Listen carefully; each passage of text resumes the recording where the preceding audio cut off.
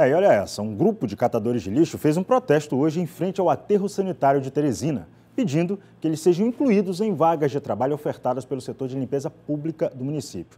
Eles montaram barricadas na entrada do local e impediram que os caminhões de coleta seletiva passassem.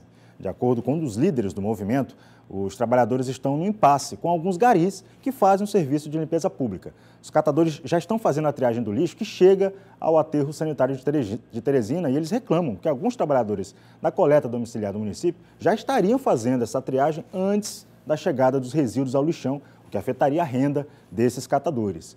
O secretário municipal de Desenvolvimento Humano, o Marco Antônio Aires, e uma equipe da Sendu estiveram no aterro sanitário para conversar com os catadores de lixo. Em nota, a Sendu explicou que foi definido que será investigada e impedida, caso seja constatado que está sendo realizada isso, essa triagem regular realizada antes do lixo urbano chegar ao aterro. E foi dito também que no ano passado foi aberto o cadastramento de catadores de lixo com cerca de 130 nomes incluídos, que será dada prioridade para eles para que eles possam ser cadastrados, esses que foram cadastrados, ocupem eventuais postos de trabalho necessários dentro do arranjo de limpeza pública de Teresina.